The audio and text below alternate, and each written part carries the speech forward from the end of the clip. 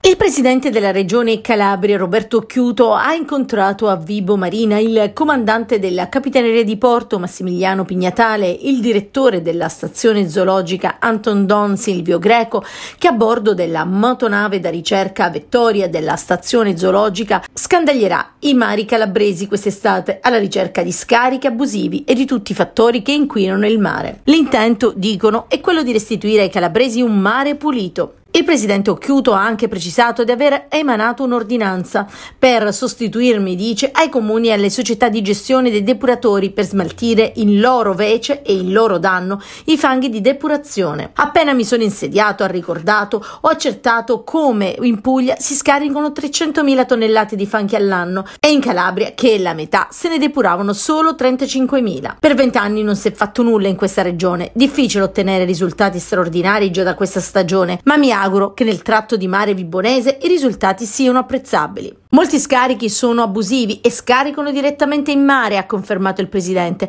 Ci sono anche stabilimenti balneari o frantoi non collettati. I dettagli dell'operazione Mare Pulito sono stati forniti poi da Silvio Greco, che ha invitato il presidente della regione Calabria all'interno della speciale imbarcazione. Quest'estate avremo un mare caraibico, ha annunciato Silvio Greco, un impegno che ha entusiasmato lo stesso Chiuto. Quest'estate, dice, verrò a fare il bagno a Bivona e sulla nuova multi-utility per la gestione dei servizi idrici e dei rifiuti, Occhiuto ha ribadito la volontà di andare avanti.